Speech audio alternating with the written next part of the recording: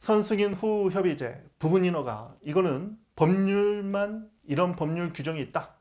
아직까지 사례로 출제된 바는 없습니다.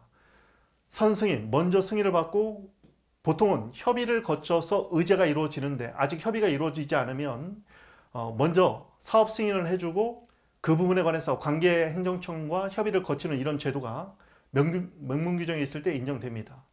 부분 인허가 의제 같은 경우도 합의가 이루어진 부분에 관해서만 먼저 의제 효과를 부여하는 것입니다.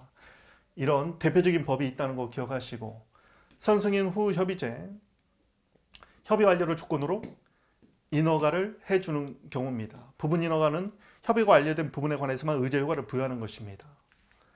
사례로 나온 적은 없어요. 뭐 여기는 필요하다고 보고 부분 인허가 같은 경우는 근거 없이도 가능하다.